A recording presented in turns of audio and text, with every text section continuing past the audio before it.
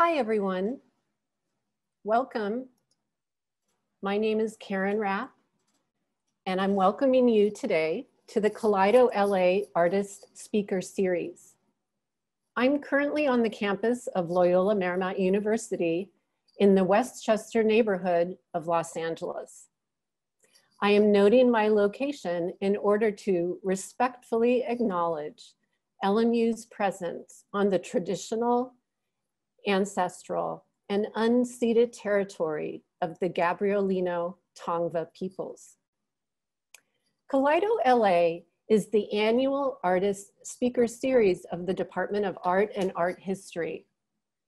The series has been a vital program within the College of Communication and Fine Arts for seven years. In preparing for this fall schedule, I, as director of the Laband Art Gallery, have been collaborating with the chairs of art and art history to bring this series to you virtually. Since this is our first time together, I'd like to offer a bit of background about my approach to serving as guest curator. The Kaleido LA series has long promoted the idea that the arts play a critical role in the education and formation of our students. Today, however, is an unprecedented and transformative time. And it is our own students whose voices are calling loudest for societal and academic change. Indeed, LMU's students are making efforts to proactively shape their own pedagogy to co-inform their education and formation. This fall, Kaleido LA is seeking to meet the moment. In building this program, my collaborators and I are curatorially centering artists who identify as BIPOC, an acronym that stands for Black, Indigenous, and People of Color. We are also including members of LGBTQ communities whose artwork and lived experiences foreground issues of social and economic racial justice. It has been my great privilege to invite these eight artists to share their work with us over the course of the coming semester.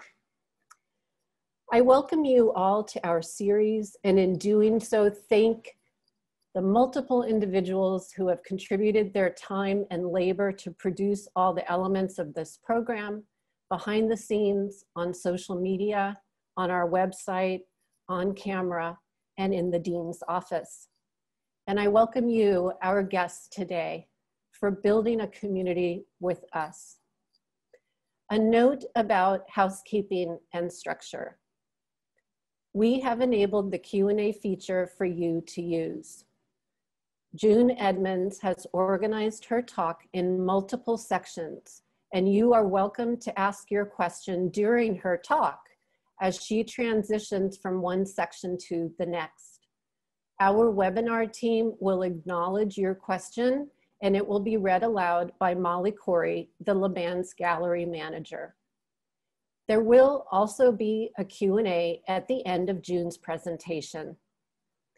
The webinar today is being recorded and it will be archived on the YouTube, YouTube channel for LMU CFA and there will be a link on our website.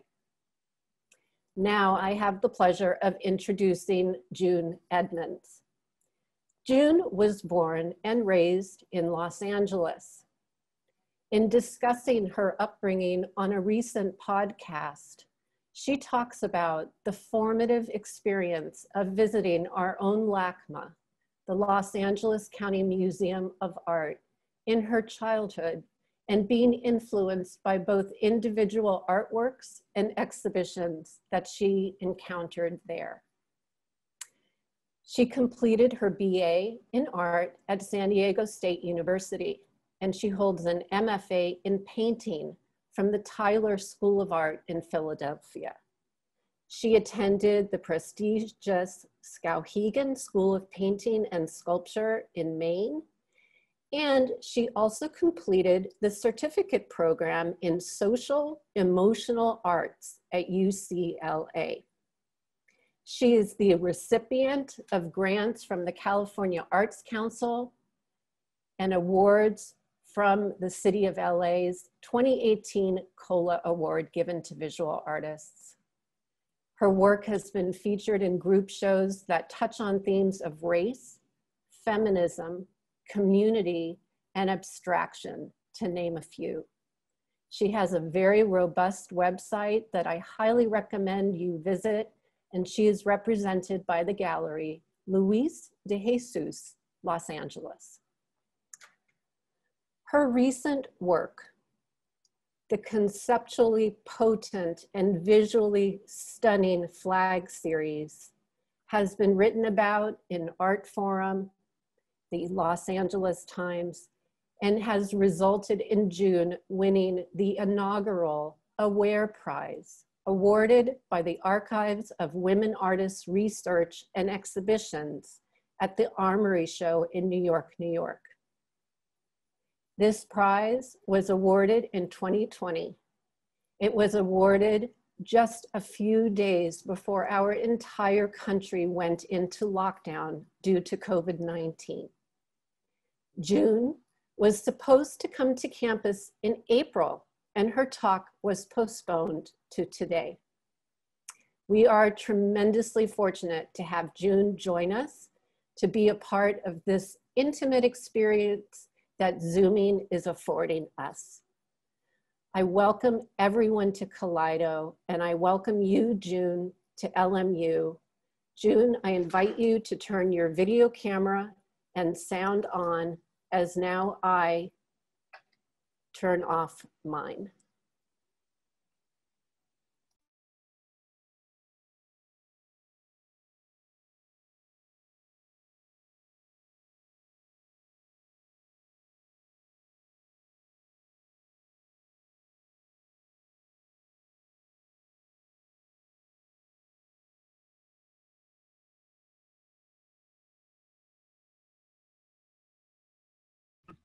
Okay. Thank you so much, Karen. That was an amazing introduction. Thank you very much. It's wonderful to be here, and I want to thank the team. I want to thank Jane uh, Bruckner for the initial suggestion and for Nicole Murph for the initial work that she had done, and also the team today, Molly, Emma, and Arturo.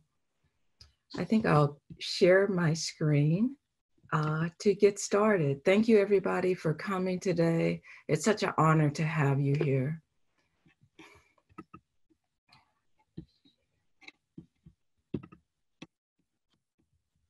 All right. So to begin, um, I wanted to acknowledge just my upbringing and my mother who is sitting with her three children, my brother, my sister, who um, would have been an artist, I believe, in another life.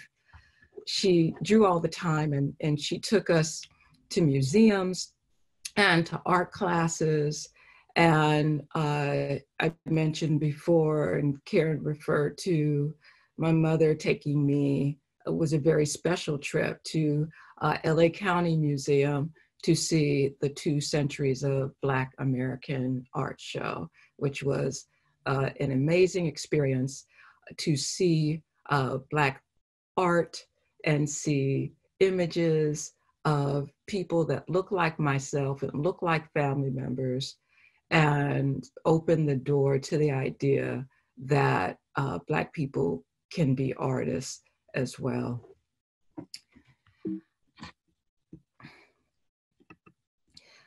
Um, I took art in high school and loved it then.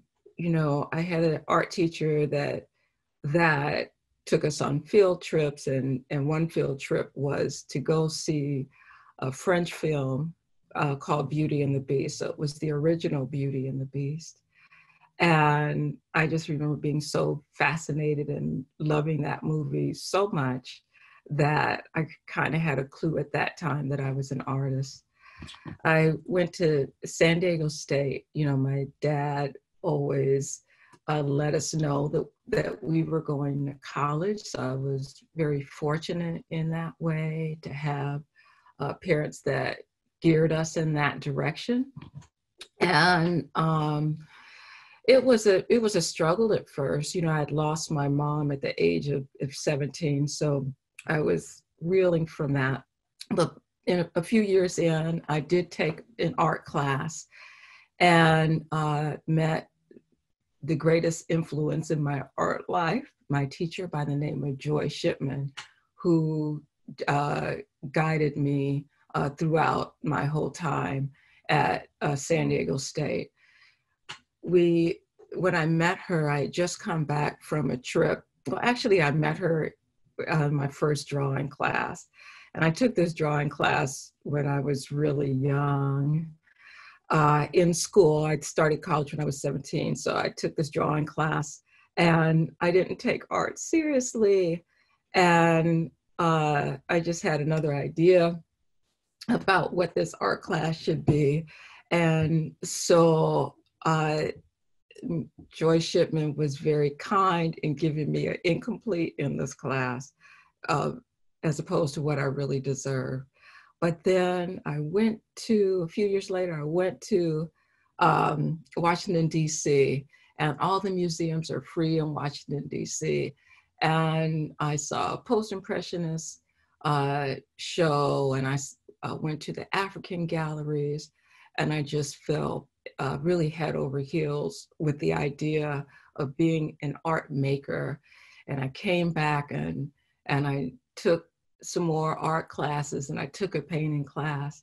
And um, and that's when I met Joy again. And I was hoping she didn't remember me from the drawing class.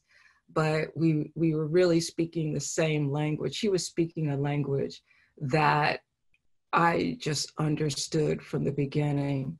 So so it was it was uh, very uh, amazing in that way where I just learned so much and and gleaned as much as I could, you know, from her and and that support. So this is a my first painting, you know, like uh, we did a lot of uh, paintings with different kinds of colors. So this is my first uh, full color still life that I did in my first painting class.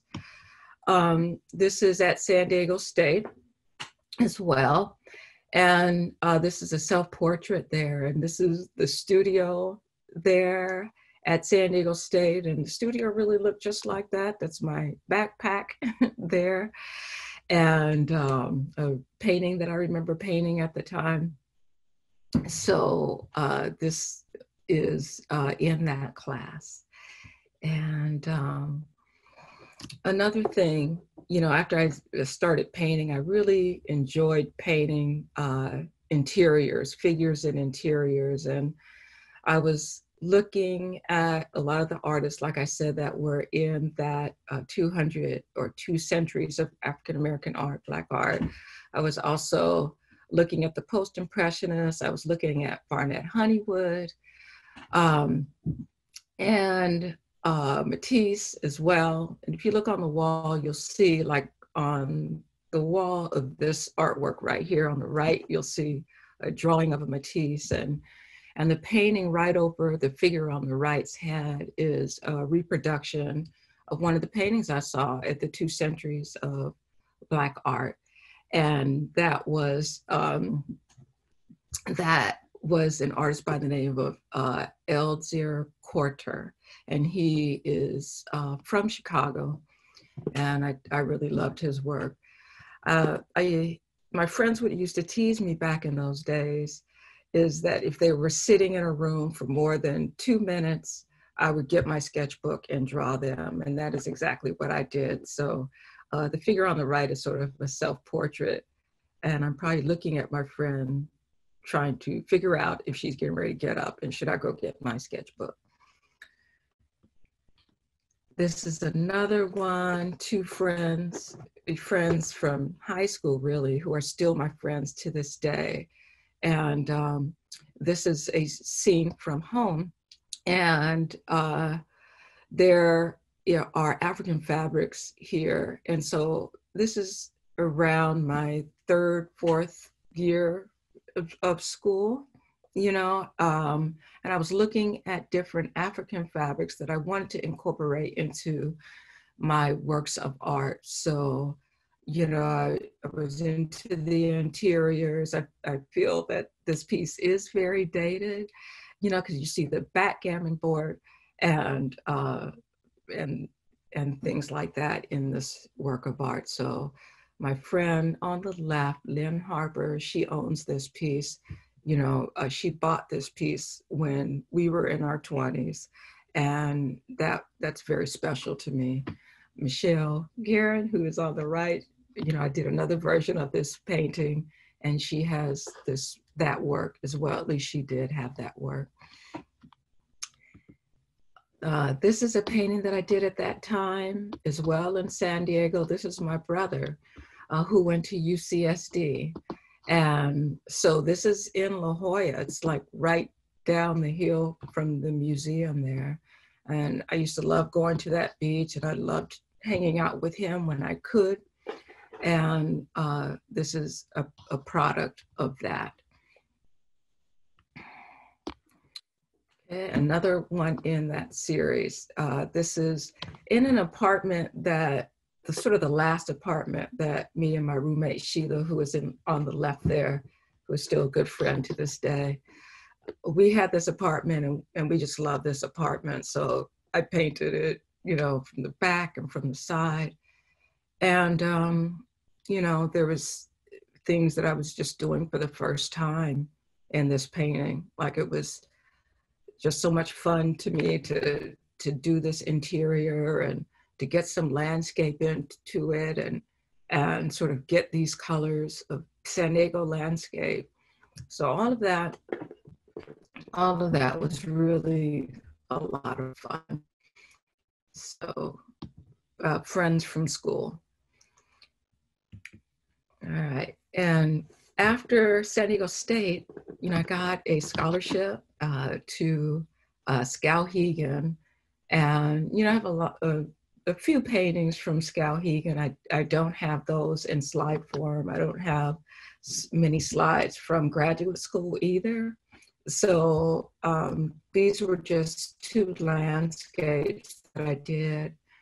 These landscapes were right outside the door at San at uh, Skowhegan, and um, we the the studio that we were in it was up a hill. It was it was uh, a great studio, kind of isolated and away from everything. So so those of us that were in that studio felt that that we had a really special place.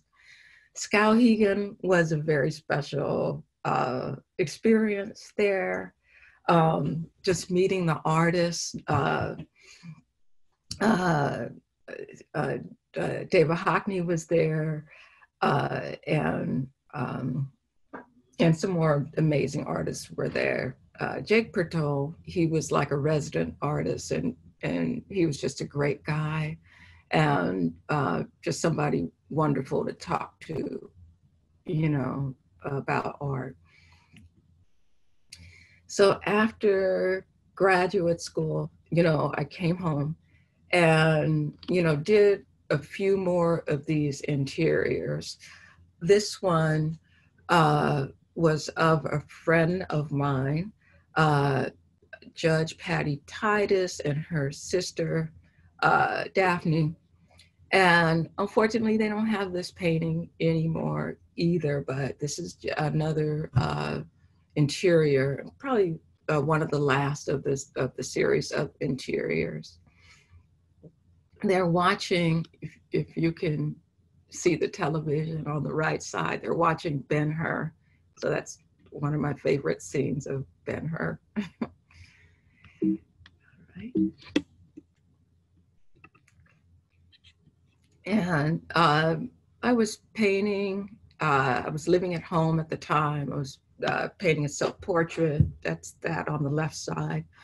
On the right side, I did a program with self-help graphics, which was really, really wonderful.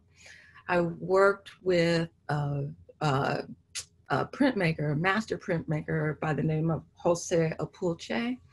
And these, this was a series of uh, silkscreen monoprints that we did. So I was working at Watts Towers at the time.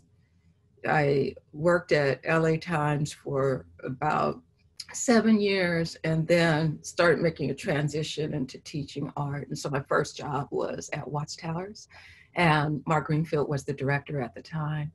So Mark um, uh, nominated me to be in this program uh, with uh, uh this master artist at Self-Help Graphics and and I produced about 10, maybe 20 of these things. And, and this is one of them.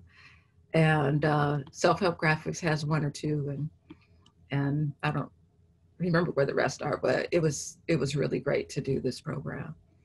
So um, if there are any questions, you know, I could take them now. This is a good time to break. Yeah, I have um, uh, one question just came in. Um, do the people who once owned your paintings give them back to you or end up selling them? Um, these early paintings, the, the people that own them are friends. And so the only reason why uh, two of those friends don't have those paintings is for unfortunate reasons, you know, like uh, they were uh, stolen from them. So, so yes, they they keep them. You know, uh, people will resell artwork, but but they they have not resold the artworks. And I also had the question of the scale of these. What are the general dimensions of these paintings? Okay, a good question. Uh, the very first ones from school average about uh, four feet tall by six feet wide. Uh, the one of Patty, this one right here, this one's a small painting. So um, this might be only about a foot and a half tall and maybe, you know, 30, 24 inches wide. Uh, these right here, maybe uh, 24 by 30 about that.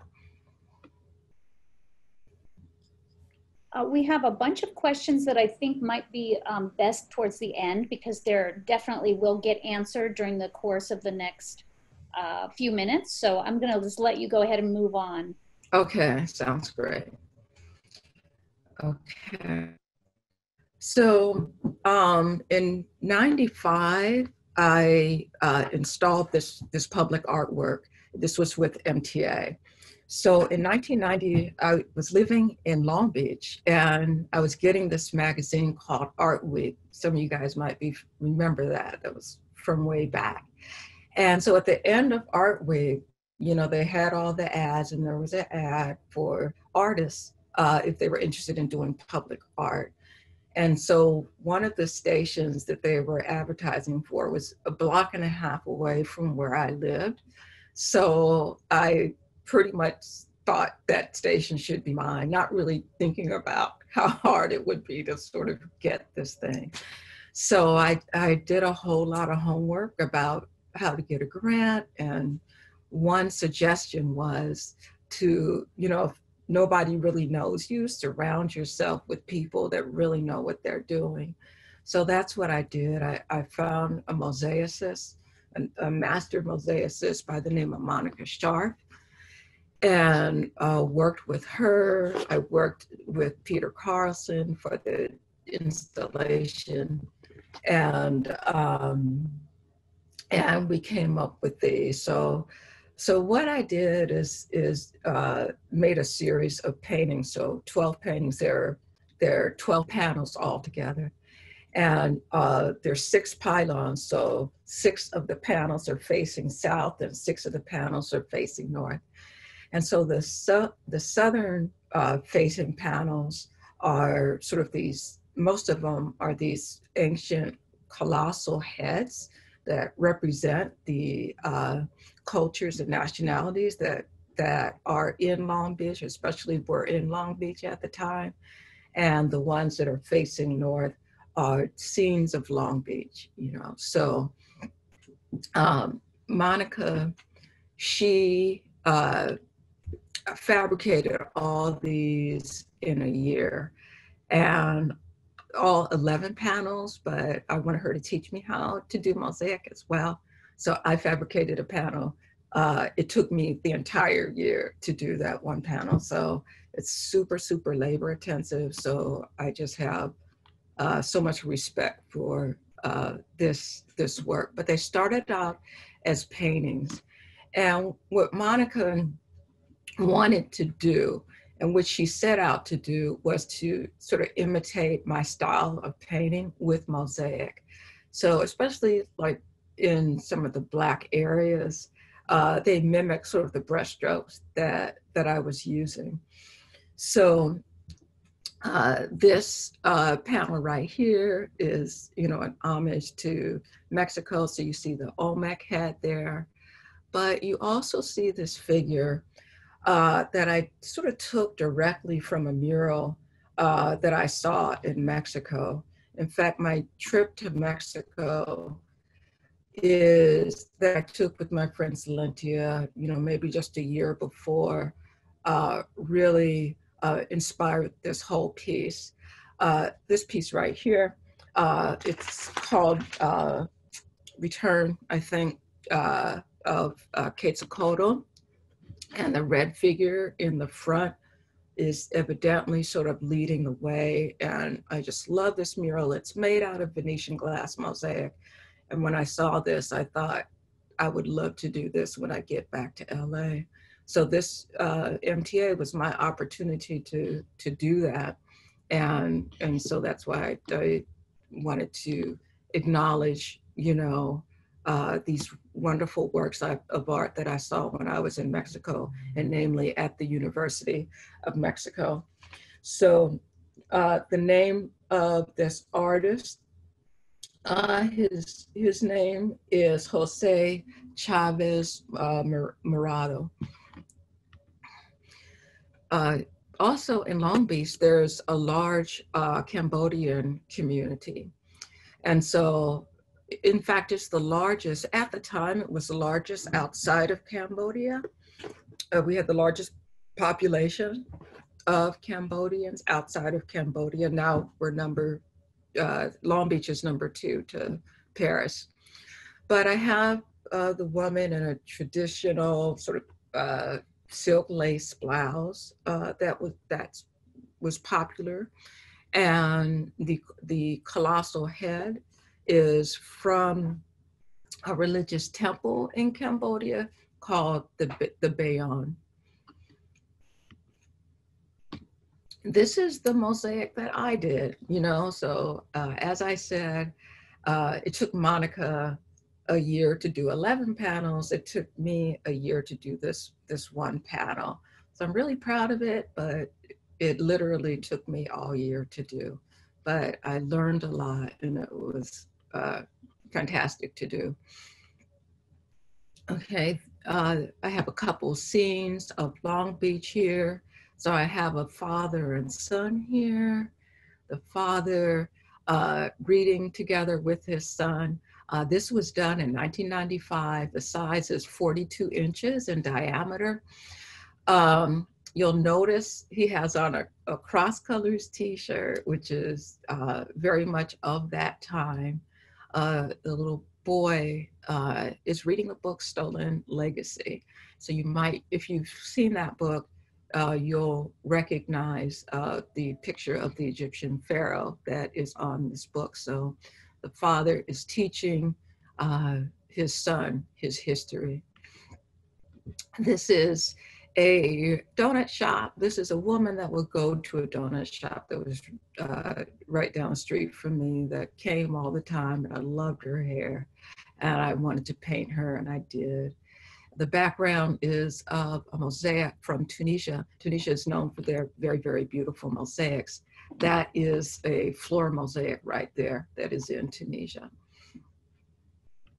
Okay, so um, that was uh, installed in 95 and 97 uh, i did a couple artist residencies so one was at dorland mountain community uh, that's in temecula california uh, and the other one was at helene wurlitzer foundation uh, which is in new mexico so it was the first time i've done one since uh, uh, Skowhegan. It was amazing to do.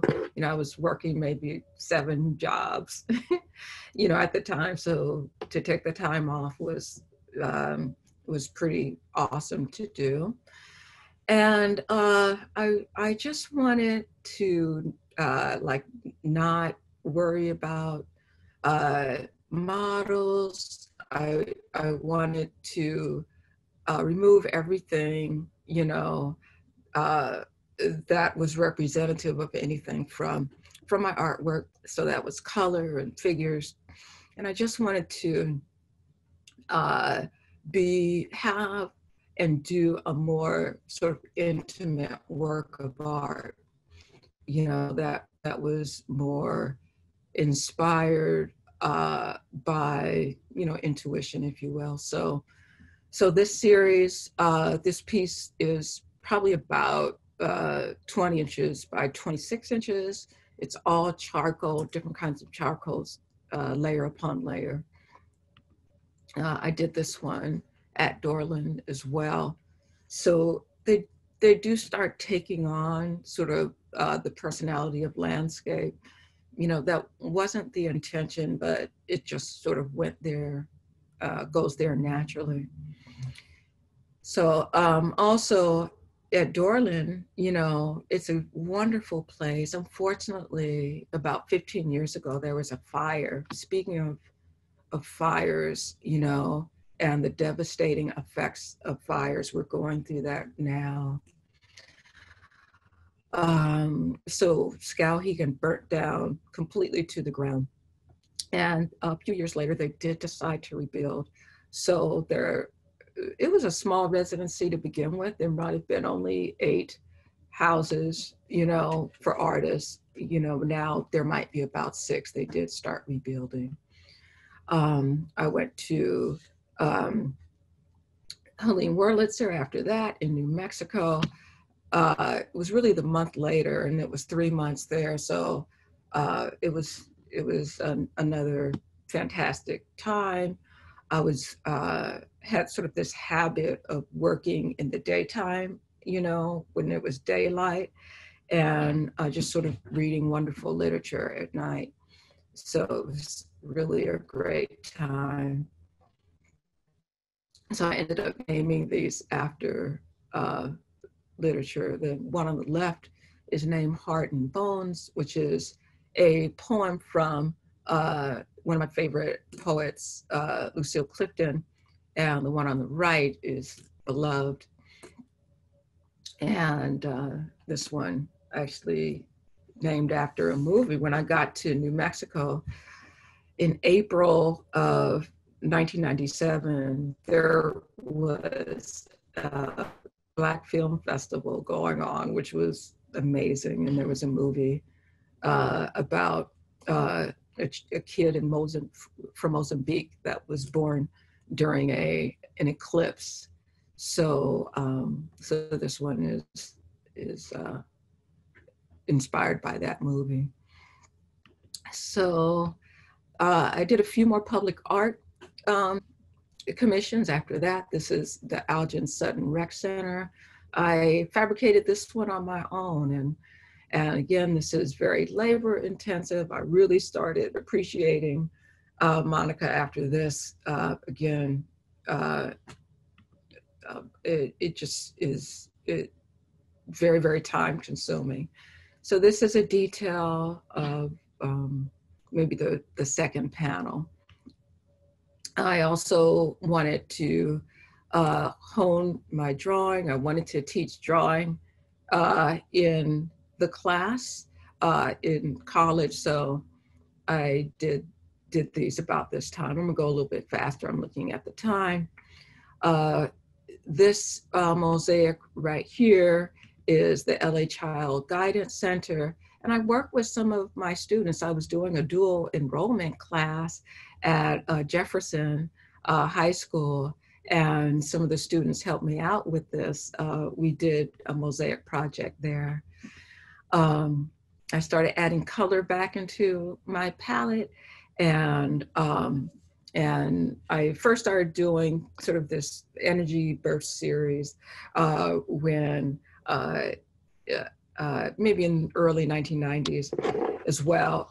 No, early 2000s, and I started off with circles, just only circles, and uh, then I just started adding more circles. These are two different paintings here. Um, I was uh, playing around with uh, monochromatic painting and and uh, in some instances, and uh, I was being inspired. The one on the left here is called G's Jungle, so being directly inspired by uh, Gee's Bend Quilt, you know, one in particular. The piece on the right is called Patrick Spills. And I had a student, a fourth grade student by the name of Patrick, and he was having a bad day and and it just seemed like he just spilled all of his emotions on his artwork and it, it was just the most beautiful artwork I'd ever seen in my life and and uh, he used a lot of the colors that are in that piece on the right side there. This one is called Wait for Diva. And uh, I, I am saying for the first time, this one, a lot of times these are uh, uh, portraits in a way, and this one actually is uh, dedicated to Whitney Houston. And it's called Wait for Diva because I felt when she died, it was just such a disappointment because we were all kind of waiting for her to get better. I think we believed that she would finally come back to herself. So uh, that is what that is named after. Uh, in 2016, I wanted to do a series of sort of continuous paintings. So it was like a series of eight paintings that I ended up showing at the uh, uh, Manhattan Beach Art Center uh, show curated by uh, Esther Delgado. Was a uh, also awesome work, awesome show that I enjoyed. Pam Smith Hudson was in that and Nicolette Camimos. So um, uh, I painted this one later, uh, this one in 2017 at a residency uh, in Paducah, Kentucky. And the title of this one is uh, Story of the Ohio. And so this one is kind of a portrait as well, uh, honoring uh, Margaret Garner who is uh, an enslaved woman who uh, proved by killing one of her children that she would rather have death than, than freedom, you know, for, for her children. Uh, the book Beloved is, is inspired by her story. Uh, these next works are works that I did um, after I got the COLA in 2017. It was such an honor to get that. You know, I really uh, I got a studio because of that. You know, studio at Angels Gate now. I was able to have space for the first time. Uh, I got a taste of it when I was uh, at uh, the uh, artist in residence in Paducah, uh, which is um, anyway, so I did these paintings here. This is the detail. The name of this painting here is Ufufuo, which is rebirth or resurrection. Here are some details of, of that painting. It's a huge painting. It's about eight feet tall and maybe 12 feet wide. Uh, this was in that exhibition as well. This one's called Unina, which means mother.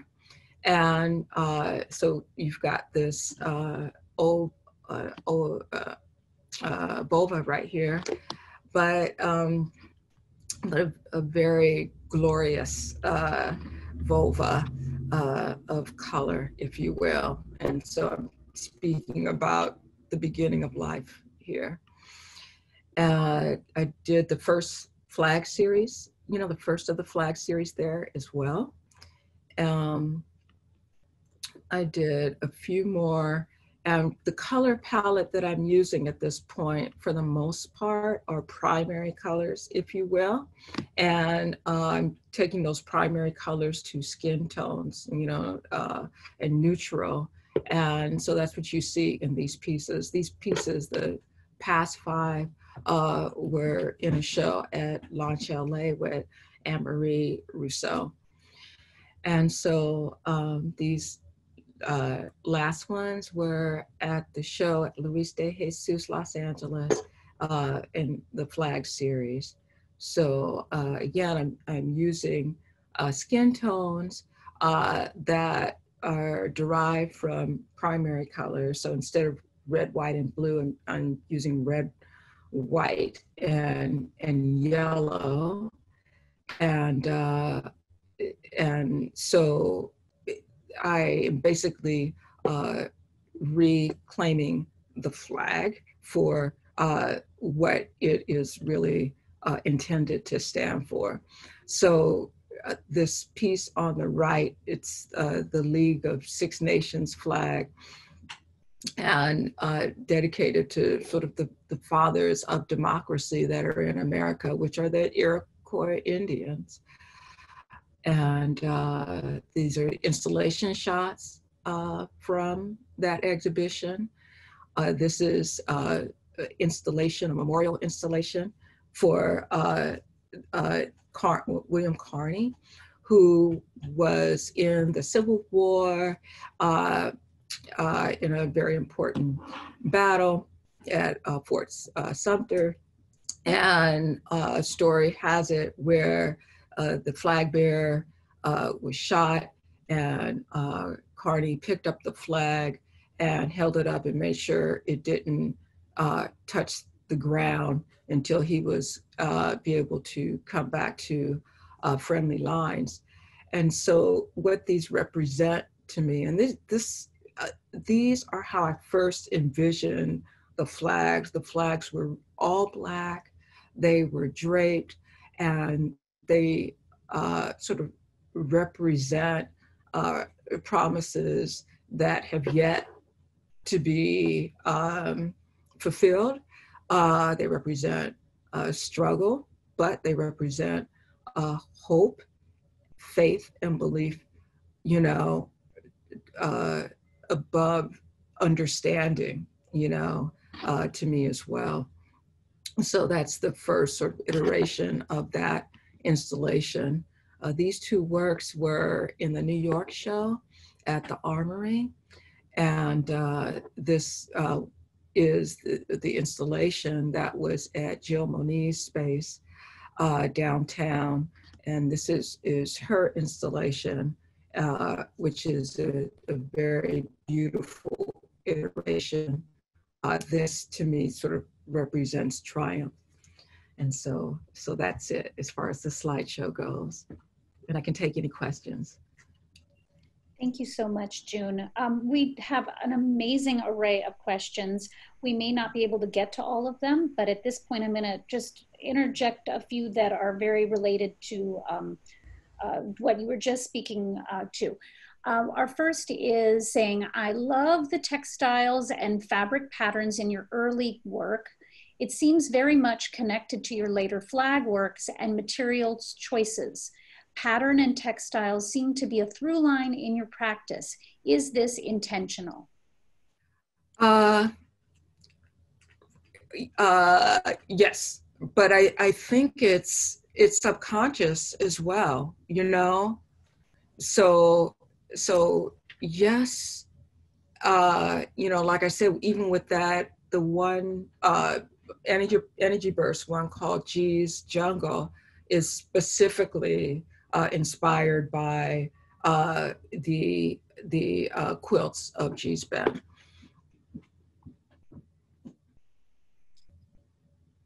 Um, my next question I have um, What do you believe your purpose as an artist is? And also, how would you say being a Black artist in America shaped your pathway to where you are now? Would you change any of your experiences or would you keep them? Um, that's a lot of uh, very heavy questions, but great questions. So, um, you know, Black art shaped me from the beginning. It just shaped me from the beginning. Uh, art shaped me from the beginning uh, because of my mother and her exposing us to art. But even back when I was growing up, we had uh, Charles White prints in my house. And so I would try to copy those, and they were just so beautiful. And I remember looking at those pieces and seeing family members and and and so doing something other than that has just never been a consideration you know? So um uh so for me black art is art. It's, it's just no other way. You know it, as far as a purpose goes i think that that as long as you are painting you know uh authentically you know something that excites you is interesting to you is uh, on your heart as long as you're doing that you're you're within your purpose you know? Thank you um, the next question we have is what has been your experience with being a woman in the art world?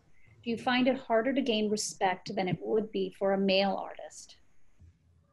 Um you know i mean that that goes without that goes without saying. You know, I mean, I've been in this this game for, you know, been painting for 40 years now, so I've I've seen a lot, experienced a lot, you know. Um, but my first teacher was a woman, and and that's really all I needed. My first teachers were women, you know, my mom, you know so so as a black woman you you really understand you know what your strength is. It's sort of like despite all of this craziness you know look at look at these women whose shoulders i stand on. You know like look at these women who, uh, like edmonia lewis or or or or uh, you know of course alma thomas you know, who worked her whole life full time as a teacher, you know, because, eh, eh, you know, foundations weren't coming after her, you know, uh, and other reasons, but uh, created, you know, uh, some of the, the greatest art on the planet. So, so yes, there's absolutely been challenges, uh, but you know, I'm so inspired, like even the flags, they're inspired. There are these people that believed in uh, democracy, believed in this country while they were slaves. you know what I mean? So, so, uh, so the chat, whatever challenges that we have they're they can be heartbreaking they can be debilitating you know i've been depressed you know um, but nothing in comparison to the people whose shoulders i stand on yes thank you um, we have a question here that says your palette is so vibrant and the gesture is so lively can you speak to that and does that relate to the emotion you stated about the people. I believe the person is speaking about the early works, the people and the locations. So in that early college work. Um, you know, the the art that you know I just I really loved the most were these uh, paintings with these these palettes, you know. So uh, in graduate school, I was told stop using so much color, you know. Uh, so I just have always loved it. I appreciate your comment about how you're relating it to the subject matter. You know, I was just used to painting people I just really, really loved. You know, they weren't models, they were my friends, they were my family.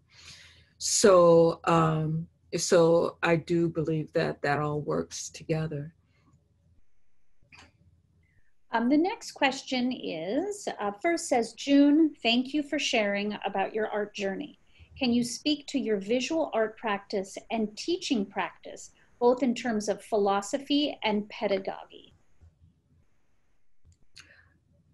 My practice um, has evolved over the years. Um, my my teaching is just uh, understanding that that everybody has something to share. And everything has everybody has something important to express. And and i i sincerely appreciate all of it you know? And most of us are teachers like that. Like you could scribble on a piece of paper and show it to me and i'm going to have a visceral uh, excited reaction to it and and try to ex- explain you know why you know so so um, as a as an instructor you are always just trying to uh, widen widen your vocabulary. So so the students really sort of understand uh, you and understand what what they already are bringing to the table. Um, and I, I learn a lot from from students. You know, students have helped me in my projects. You know, uh, and sometimes I'll teach something in class, and and I work it out in the studio myself. You know, so uh, now my studio practice is is uh, and it has been you know very regimented you know i i work certain hours and i'm in the studio uh, certain hours. These are my studio hours and these are these are my teaching hours. So so i just feel like uh, all i have to think about uh, is showing up at the studio just showing up and then everything else sort of works itself out. There's quite a few questions about the flag metaphor in your paintings. Um, maybe you could, um, let's see, I love the connection and natural transition from mosaic to pattern brushwork in meditation circles and flags. Did you have a conscious awareness of that or was it intuitive? And then there's numerous other questions just about the flag metaphor so um, the circle uh, paintings really came out of uh, my uh, meditation practice or my meditation practice at, at the time. So, um, and my attraction to mosaic, you know, like my, my first attraction to mosaic was in uh, Mexico. You know, when I saw those wonderful mosaics at the University of, of Mexico, so um, I I didn't really see the mosaic as as brushstrokes, but I know I connected to them and and I and people always point out to me that that um, that there's such similarity between uh, mosaic and in the way I uh, use paint. And uh, as as far as the flags go, you know, the, the story that I tell is is really what they were inspired by. They were inspired by a dream, and in that dream, the flags look like this. And you know, when I asked myself, well, why am I dreaming you know, of these flags and how do I even know that they're flags? You know, this was in 2017. It was uh, the year that I did go uh, uh, to the Alonzo Davis owned uh, residency in Paducah, Kentucky. Like that was 2017, and and the world changed, you know, and we got a new president. And the idea of going to Paducah, Kentucky meant one thing when I applied in 2015, and another thing when I went in 2017. So um, I would drive around, you know, in the small roads in Kentucky. Uh, one instance in particular where there's like a Confederate flag, Confederate flags in front of a house that's as, as big as is the wall in my living room.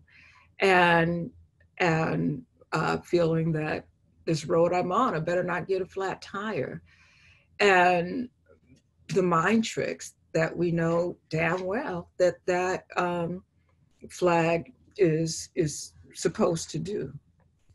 So, so I felt that that the flag dream was a reaction to interacting with those flags in that way. You know, when I went to Paducah, Kentucky, it was the first time I've ever been in the South.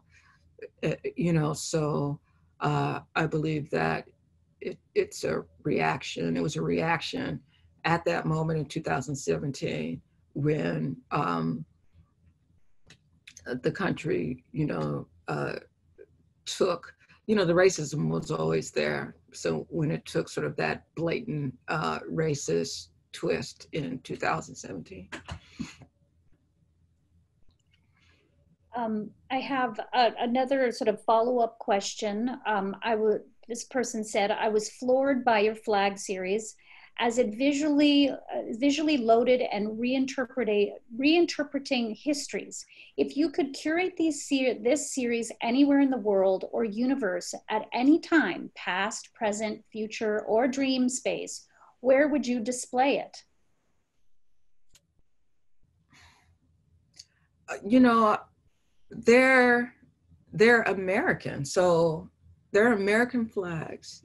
So I want them here in America, you know, to to be honest with you. So um so anywhere, you know, when I when I think of the uh, Carney Memorial, those those draped flags, you know, um, I would love them to be in the land somewhere, you know, uh, a nice long row uh, a series of them, you know, maybe as many states as we have.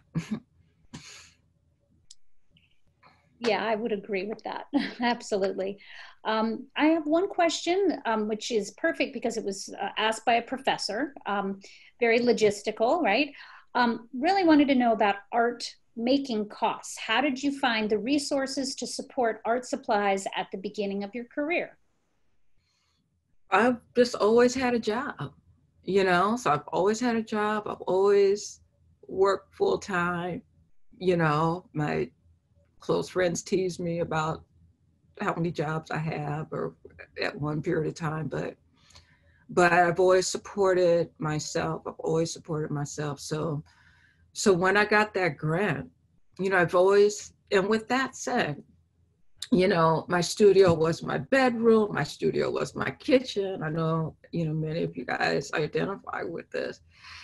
So in 2017, you know, uh, I got $10,000. I was able to get a studio, you know, a studio. I was able to get paint, you know, like my whole life, you know, when I get to the end of a tube of paint, cadmium red or something like that, I start getting nervous, you know, because that means I got to find $20 somewhere, you know. And so when I got that grant, you know, that that stress uh, was gone at that time. So so that was beautiful.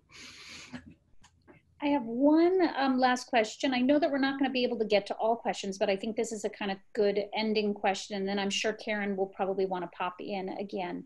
Um, what are you working on now, and where are you finding inspiration during the pandemic? Um, I'm I'm working on a number of things. I'm working on uh, some abstractions. I'm doing some more flags.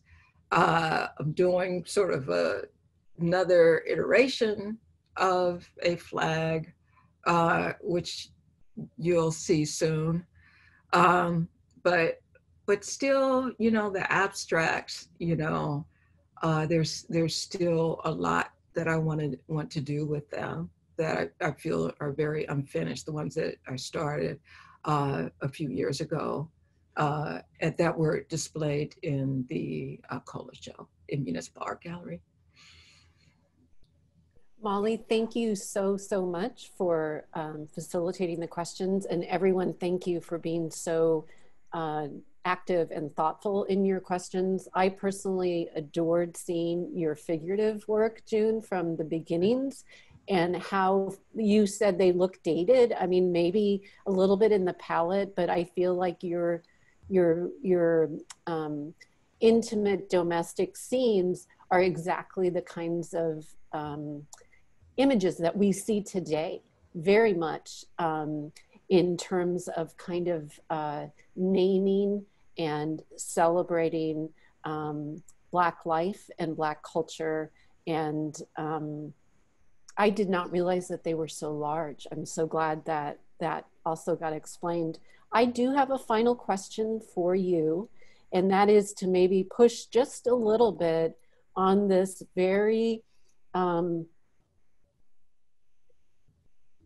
tense and uh, uh, aggravating time uh, where the ideas and the uh, the battle for patriotism in this country is up for grabs and how you feel about these conversations that are happening and really almost um, battles for who is really um, defending America, who is um, going out to speak for for our nation's best interest. Mm-hmm, mm-hmm, mm-hmm.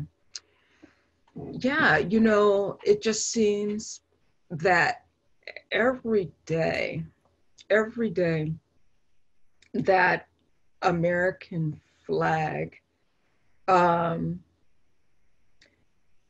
is becoming more and more of a representation of this racist fascism.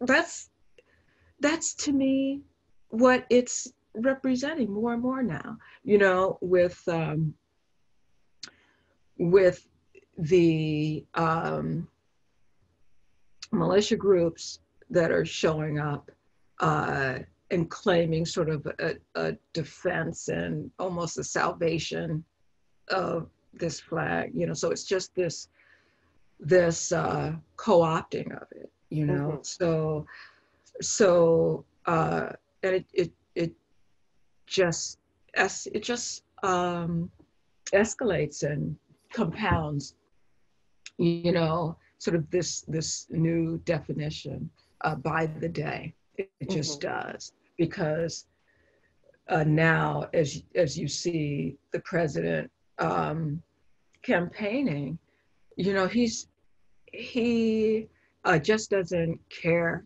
how he sounds. He he knows that we know he's talking to this base mm-hmm. and wanting to strengthen them and empower them and and uh, make them comfortable uh, with continuing uh, with their violent, you know, unscrupulous actions and and and minimizing it. So so so every day, sort of the the redefining of who we are, us sort of not giving up on that. You know, I just I just think if it was important enough for my ancestors who believed in this, you know, when they had absolutely nothing. And and these beautiful words that that um, that were written by, you know, uh, our founding quote unquote founding fathers, you know, who are doing one thing with one hand and doing this whole other thing with the other hand. I, I still believe it's it's something worth uh, fighting for. Mm-hmm. Mm-hmm. And how your work, even the context of two, three years ago when you were inspired by a dream, and now today, how it resonates in an even more profound way. I want to thank you, June. Thank the team behind the scenes at LMU and thank all the attendees. This has been an incredible conversation, an incredible um, gift to spend this afternoon with you. Thank you so much. Thank you everyone for joining us today. I have one one more little tiny mm -hmm. comment here that mm -hmm. I thought was wonderful to end. Uh, Joyce Lewis wrote, beautiful work, June. I think your mother would be so proud of you. Oh, Joyce. Thank you, Joyce. Mm -hmm. Don't make me cry. All right. Thank you. Thank you.